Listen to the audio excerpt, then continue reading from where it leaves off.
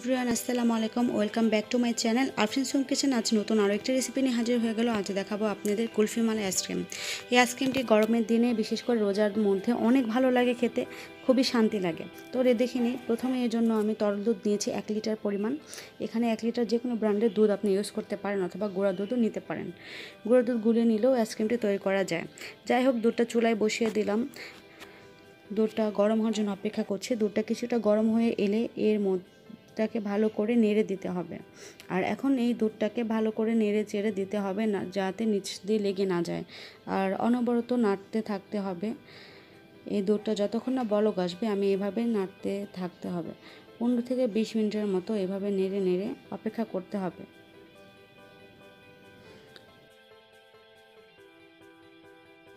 তো পনেরো বিশ মিনিট এটাকে নাড়তে নাড়তে যখন এটার মধ্যে বলক চলে আসবে, সেই পর্যায়ে আমি এর মধ্যে দিয়ে দেব, চিনি দিয়ে দেব এক টেবিল চামচ পরিমাণ। এক টেবিল চামচ চিনি দিয়ে সাথে দিয়ে দিচ্ছি এলাচ একটি। আর এখানে ভালো ফ্লেভারের জন্য দিয়ে দিচ্ছি জাফরান।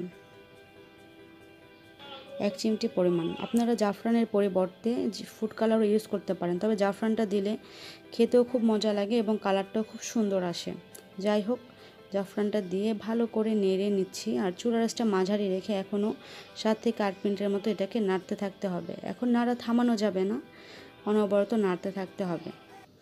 এভাবে নেড়ে নেড়ে দশ থেকে বারো মিনিটের মতো যখন দেখব দুধটা কিছুটা কমে এসেছে এবং ঘন হয়ে এসেছে, সে পর্যায়ে এর মধ্যে যে এলাচটা দিয়েছিলাম সেটা তুলে ফেলে দেব। কারণ এলাচের যে ফ্লেভারটা আছে সেটা অলরেডি বেরিয়ে গেছে। এলাচটা ফেলে দিয়ে আবারও নেড়ে চেড়ে এটাকে নামিয়ে ফেলতে হবে। আর আমি আপনাদের ঘনত্বটা দেখাচ্ছি, এরকম ঘনত্ব চলে এলে এটাকে নামাতে পারব। যেহেতু দুধটা এরকম ঘন হয়ে গেছে, তাই এটা নামিয়ে ফেলছি। নামিয়ে ঠান্ডা হতে দেব। ঠান্ডা হওয়ার জন্য অপেক্ষা করছি, এটা ঠান্ডা হয়ে গেলে সে পর্যায়ে এটাকে ব্লেন্ডার করে নিতে হবে। তাই ব্লেন্ডারের জারে আমি তুলে নিলাম। এখন এটাকে স্মুথি করার জন্য ব্লেন্ডার করছি। আর ব্লেন্ডার করলে আইসক্রিমটা খুবই সফট এবং স্মুথি হয়। ব্লেন্ডার করার পরে দেখুন কতটা ফোমি একটি ভাব চলে এসেছে। এখন এটাকে মোল্ডে দিয়ে দিব। আর কুলফি মাল আইসক্রিম মোল্ড অবশ্যই গোলাকৃতির হয়। না হয় এটাকে কুলফির মতো মনেই হয় না। তাই এই শেপের মোল্ডেই আপনি আইসক্রিমটা সেট করবেন। যাই হোক, এই মোল্ড আইসক্রিমটা আমি ঢেলে নিচ্ছি। ঢেলে নিয়ে এখন এটাকে উপরে ঢাকনা দিয়ে ঢেকে দিচ্ছি।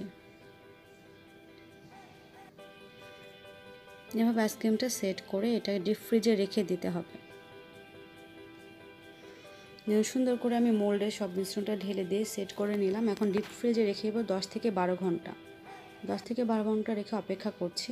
আর যারা আমার চ্যানেলটি নতুন দেখছেন, অবশ্যই সাবস্ক্রাইব করবেন আমার চ্যানেলের ফেসবুক পেজটি লাইক কমেন্ট শেয়ার করবেন। তো দশ থেকে বারো ঘণ্টা পর আইসক্রিমটি তুলে নিলাম।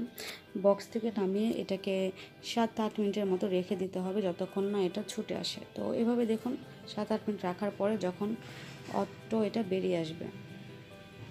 তো দেখলেন মাসাল্লা আইসক্রিমটা কত সুন্দর হয়েছে স্মুথি হয়েছে, খেতেও দারুণ মজা হয়েছে। আমার রেসিপিটি খুবই সহজ, মাত্র অল্প উপকরণ দিয়ে এই মজাদার রেসিপিটি ঘরে তৈরি করতে পারেন। আর যেহেতু রোজার দিন, খেতে অনেক ভালো লাগবে, গরমের মধ্যে আইসক্রিমটি খুবই হেল্পফুল খুবই মজা লাগে। তো আল্লাহ হাফেজ।